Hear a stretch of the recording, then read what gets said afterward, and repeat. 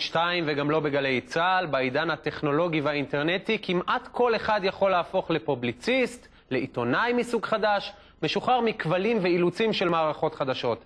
אחת הבלוגריות הפוליטיות ברשת היא טל שניידר, שמפעילה בלוג מצליח ששמו הפלוג. עיתונאים ופוליטיקאים עוקבים אחריו באדיקות. בוא נאמר לה שלום, טל שניידר, שלום לך. שלום ירון. בואי נתחיל מאלף, אחרי שעזבת את עיתון מעריב, מה, פשוט חשבת לעצמך, אולי אני אפתח בלוג פוליטי ברשת?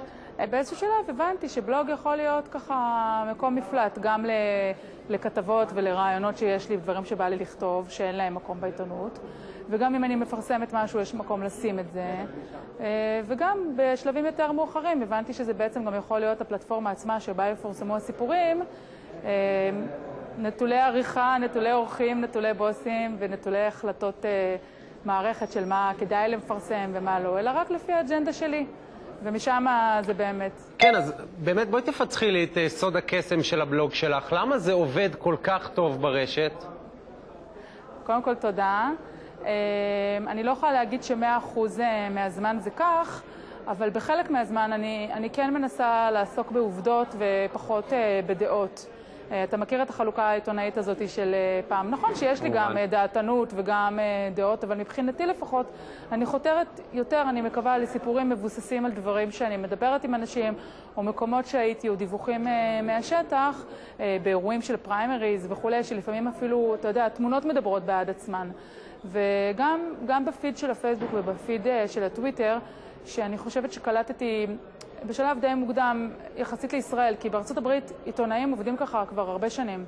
לא הרבה, אבל מספיק שנים. אז פשוט שמתי את העובדות או את הדברים שאני רוצה להגיד בפידים, בפיד של הפייסבוק, כשבעצם עבודת העריכה שלי זה מה נכנס לפיד ומה לא נכנס, אם דברים לא נראים לי מעניינים, אז אני לא, לא מכניסה אותם. ופה אתה רואה אולי בעצם את הדעתנות שנכנסת.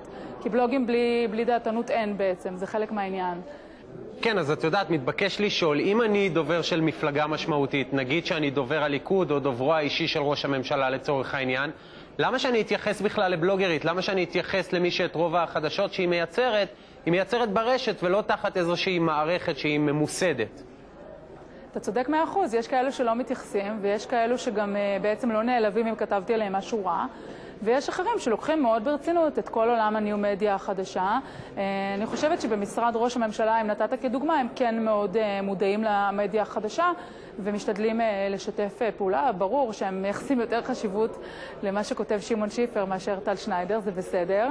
הדברים הם אחד ליד השני והם גם משתנים וצומחים, אבל אחד הדברים שהדהימו אותי כמעט מהרגע הראשון, בכל מקום באתי ואמרתי, אני, יש לי בלוג או אני פרילנסרית ואני לא עובדת בשום מקום בעצם קבוע, אני פה, פה ושם, וכולם לקחו את זה נורא ברצינות, ואפילו בלי להכיר אותי ממש טוב בהתחלה, מהרגע הראשון. טוב, אז זה הרגע ממש לעשות כאן גילוי נאות. אני מהעיתונאים שעוקבים אחרייך ועוקבים די באדיקות. יש בינינו גם סוג של מערכת יחסים עיתונאית טובה ופוריה. אני חייב לפרגן לך. איך כל מי שצופה בנו בתוכנית יכול לעקוב אחרייך? בואי תתני לנו את הפרטים.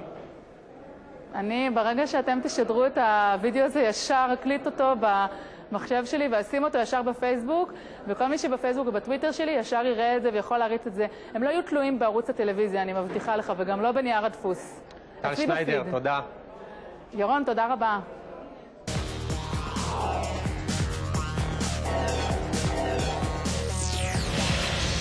טוב, אנחנו עכשיו ב...